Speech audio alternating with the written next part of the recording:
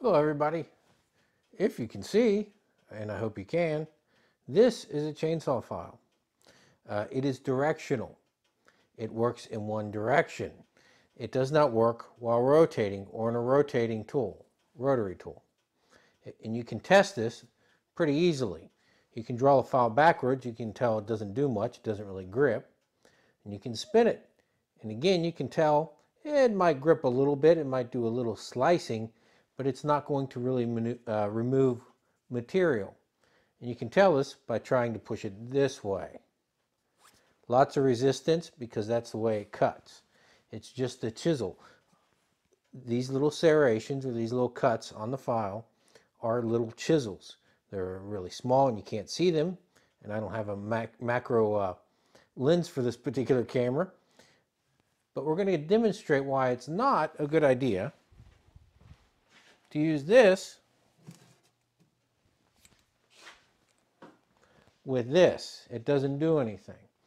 Now some people claim that it does or it makes an improvement. My theory on that is it's probably more honing than actually uh, moving material to sharpen the chainsaw tooth. Uh, what I mean by that is to say the tooth is uh, a little curled over. Uh, that's kind of how they dull. The, the uh, top plate in the working corner rolls over. What the, uh, what the uh, file is probably doing is simply rolling some of that back up, honing it essentially, bending it back up to make a cut a little bit better. I'm going to demonstrate the difference between trying to use this with a rotary tool and then just a few smooth forward strokes with this file. Let me show you that right here. I'm going to use an old chainsaw bar. Uh, so I'm going to go ahead and use that and demonstrate the amount of uh, material you can remove with just a few strokes versus doing nothing with the rotary tool. I've seen quite a few videos online now you know what they say, don't believe everything that you hear or see online or on YouTube.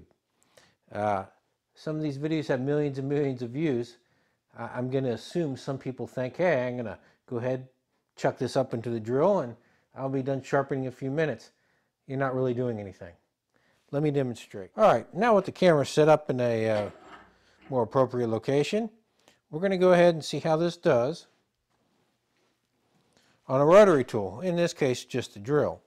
What we're going to do is we're going to mark a little area where we're going to try to hold the file and see how much material we remove. Let's zoom in a little more. In this section we're going to go ahead use the rotary tool in one location. I'm going to use a rag on the end of it here just to hold it so I can put a little bit of downward pressure. You're going to see how little to no material we're actually going to remove. Uh, we will remove some, but it's not going to be a whole lot.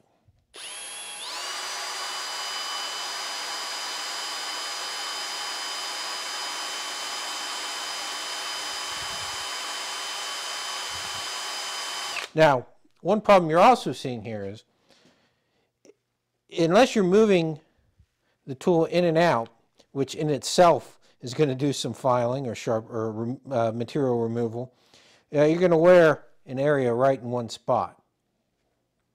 That's a problem with all of the rotary tools that uh, people use to uh, sharpen chains with is uh, there's usually very little space, even with the stones or the burrs, so they tend to wear out very quickly. The stones, they're the worst because they actually change shape.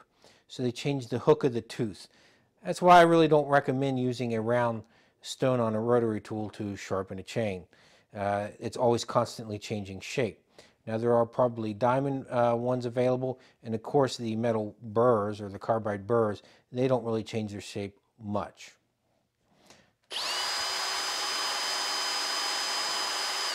Now let's go ahead and move the tool back and forth. That's going to actually help it remove some material.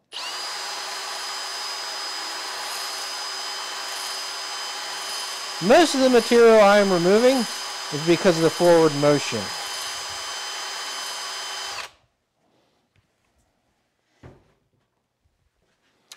It may be hard to tell, but there is a little to no material removed. And that is about it.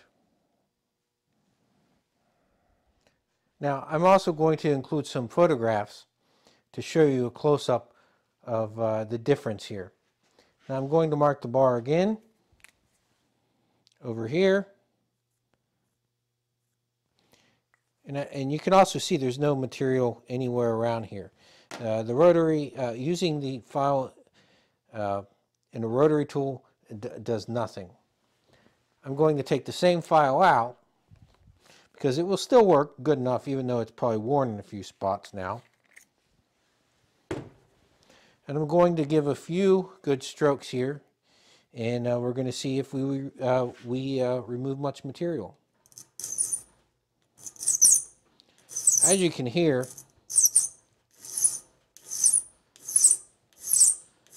uh, chainsaw bars are quite hard. And this is just a few seconds. I didn't count how long I held it uh, in the rotary tool.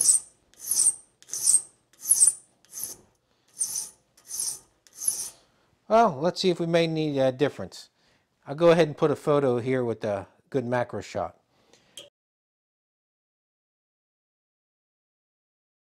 As you can see, nothing here. I didn't, you didn't even make a dent. There's actually a large recess or valley here now. And you can see on the back side how much material I have removed. Using a round chainsaw file and a rotary tool is absolutely pointless. It lacks the understanding of how files work in general. And if you see someone doing that, they don't know what they're doing. It's bad information. Look at the difference here.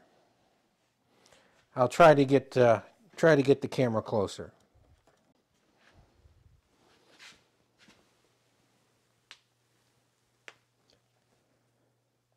That is where I use the file with just a nice, good, even forward stroke. And that is where I use it on the rotary tool. You know, just for the heck of it, let's put it back in the rotary tool. Let's see what it does.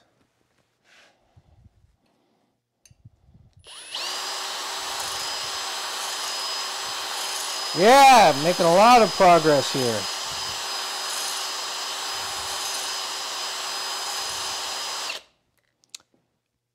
Yeah, nothing. The, the difference is, well, it does nothing but polish.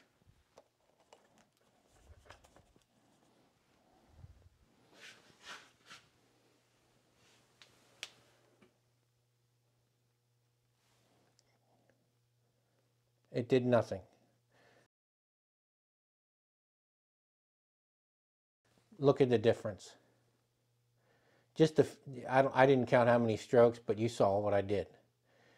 That's how a good sharp file works. So as I've demonstrated, using a round chainsaw file and a rotary tool of any kind isn't going to do anything at all. Uh, that's just not how files work. They're directional. They work in one direction. Uh, again, don't believe everything you've seen on YouTube. Hopefully people will see this video and not take the advice of some of the other ones. Uh, that's all for today. Thanks for watching. If I helped you out, um, understand the basics of how a file works, which a lot of people do not understand. Some people drag the file backwards. Does, that does nothing but uh, actually dull the file. Uh, the little chisels on the file, if you drag it backwards, they'll get bent over, they'll get rounded off. That's when the file gets nice and shiny. Uh, you don't want the file to be shiny. Uh, so anyway, hope this video helps. I'm going to go ahead and throw this file away. Files are not expensive. As soon as they start uh, not cutting very well, pitch it, get a new one. It's not worth the hassle. And uh, don't drag the file backwards and it'll make sharpening a chainsaw a heck of a lot easier. Talk to you next time. And Wayne, if you're still watching this video, I did finally send your package out to you.